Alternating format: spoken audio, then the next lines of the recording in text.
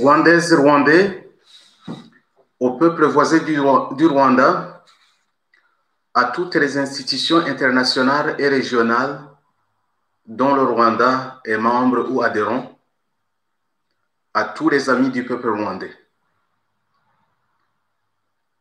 Au nom du gouvernement du peuple rwandais en exil, que j'ai l'honneur de présider depuis février 2017, je viens vous annoncer une triste nouvelle, aux conséquences nombreuses pour le Rwanda en particulier et pour les pays de la région des Grands Lacs africains en général. Le président Paul Kagame, qui, vous êtes sans l'ignorer, était le président en exercice de la République du Rwanda, est bel et bien mort. Et si je suis obligé de l'annoncer sous ce format, c'est surtout parce que les institutions nationales autorisées à le faire sont réduites au silence depuis des mois, sans doute pour protéger des intérêts politiques injustes et inavouables. En effet, selon des informations crédibles à notre possession, que nous tenons d'ailleurs des sources tant nationales qu'étrangères, sources que nous estimons très sérieuses et fiables, voici les principaux éléments qui nous permettent d'annoncer, sans risque de nous tromper, que le président Paul Kagame n'est plus. La dernière vraie apparition publique de Paul Kagame date du 17 février 2020 au Rwanda, juste la veille de l'annonce de l'assassinat sur ordre de Paul Kagame lui-même de notre regretté chanteur Kizito Mihigo, assassinat qui, vous vous en souvenez, a plongé notre pays et plusieurs millions de ses fans dans un deuil indescriptible.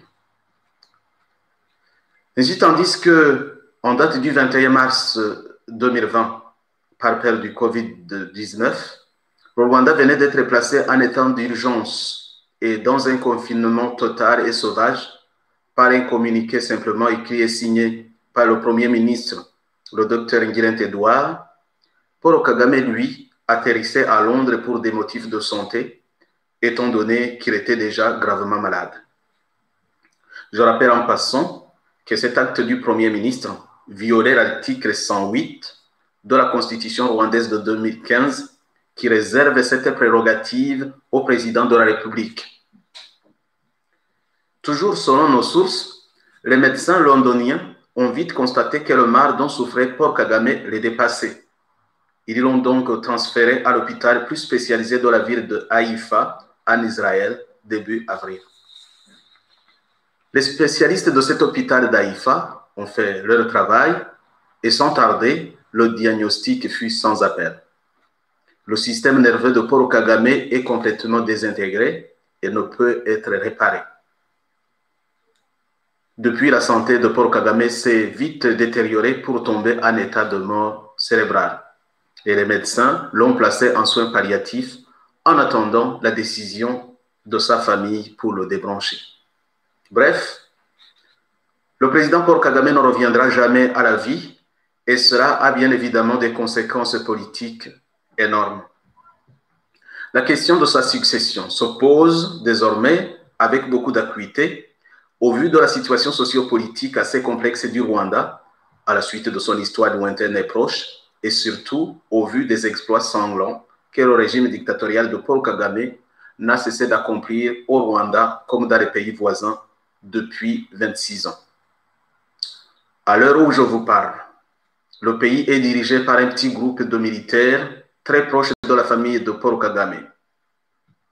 Pour les observateurs avisés qui ne s'arrêtent pas aux, aux, vidéos truquées et au montage photo destiné à tromper l'opinion nationale et internationale. Et suite à l'absence prolongée du président Paul Kagame, le Rwanda sombre progressivement dans le désordre. Le peuple meurt de faim. Des incidents de violation des droits humains se multiplient. La ville de Kigali est coupée des provinces. Les régions frontalières de la République démocratique du Congo c'est-à-dire les districts d'Orusizi et celui d'Orubavu, sont indéfiniment confinés. Un couvre-feu injustifié est déclaré sur tout le territoire national. Plus intrigant encore, tous les hauts responsables politiques sont réduits au silence et plusieurs hauts officiers militaires placés en résidence surveillée. Notez en particulier que depuis au moins cinq mois, on n'a plus revu en public ni le Premier ministre, ni le président du Sénat, ni la présidente de la Chambre des députés, ni le président de la Cour suprême, ce dernier, ayant la responsabilité constitutionnelle de déclarer la vacance du siège présidentiel, conformément à l'article 105 de la Constitution rwandaise de, 2005, de 2015. Or, d'après ce même article 105 de notre Constitution, en cas de condamnation, de démission, d'incapacité permanente ou de décès du président de la République en exercice, il revient au président du Sénat, en l'occurrence le docteur Augustin Iyamouremier, de faire office du président de la République pendant une durée maximale de 90 jours pour organiser l'élection des nouveaux présidents. Mes chers compatriotes, à la communauté internationale, il convient de préciser, quand on a compte des circonstances particulières qui ont accompagné l'accession au pouvoir et son exercice par M. Paul Kagame, le gouvernement du peuple rwandais en exil estime qu'à la solution constitutionnelle devrait s'ajouter une solution politique pour le bien suprême de cette nation, la paix.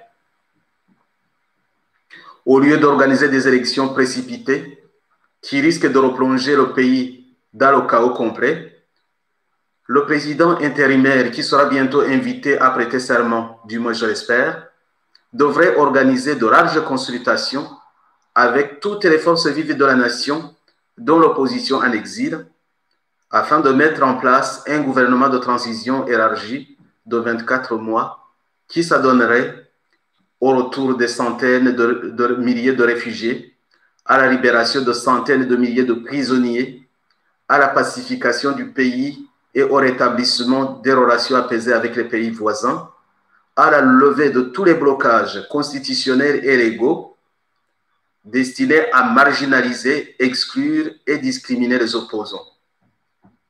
Et pour conclure, je demande au président de la Cour suprême, M. Faustin Désirgayo, de prendre ses responsabilités et d'user du pouvoir que lui confère l'article 105 de la Constitution et déclarer officiellement et dans les meilleurs délais la vacance du siège présidentiel. Le peuple attend impatiemment d'entendre son discours. Nous demandons également aux forces de l'ordre de ne pas succomber à la tentation, à peine voilée, de certains irréfléchis qui s'organisent déjà pour prendre le pouvoir par un coup d'État contre les institutions. Cela ne ferait qu'empirer la situation de notre cher pays et votre responsabilité serait sérieusement engagée devant Dieu et devant le peuple. Nous demandons ensuite au gouvernement des pays voisins et à toute la région des Grands Lacs de suivre de près l'évolution de la situation au Rwanda.